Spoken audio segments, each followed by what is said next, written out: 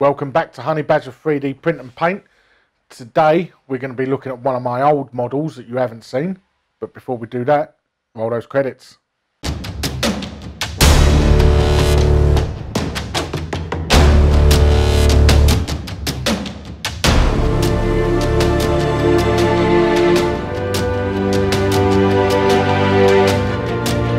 Right, welcome back. Let's give a closer look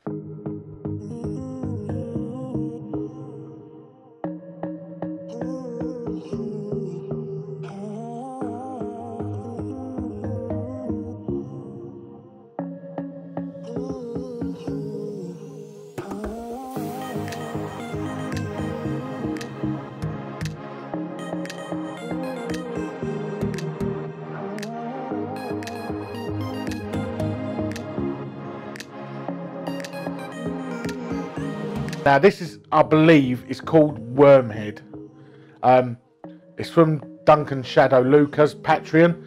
Although I think you can actually just buy this model without joining the Patreon. He's got a lot of models for free and some that you can just pay for and buy. And I think this is one of those because I think I actually just paid for this model. Um, this was scaled up. Don't ask me what scale it was scaled up to because this was done maybe four, five years ago. About four. Yeah, about four years ago. It is scaled up a lot to what I don't know. This was printed in one piece as well. Um, so it was printed flat on the build plate as it is now. Um, did have a lot of support, supports on it that were a pain to remove. Um, currently the size this is scaled up to is 230 mil, give or take. Um, but this is actually one of my favourite models I've ever done. A um, couple of reasons. One, it's very, very different compared to most of the stuff I do. Two, painting this was enjoyable from start to finish because it's so weird. Um, I thought to myself, you know what, the worms, I'm going to do them bright colours. Use some of the paints I don't usually get to use. Um, and just went a bit mad with it.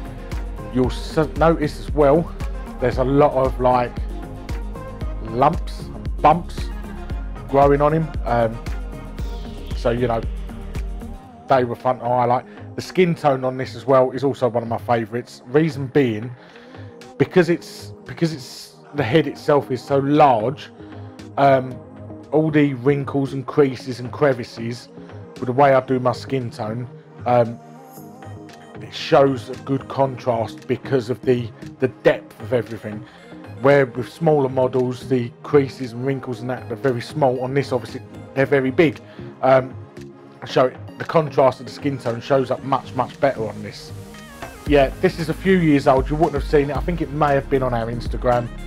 Um, but you know it's a fun paint job from start to finish it's some paint jobs you do on models are um,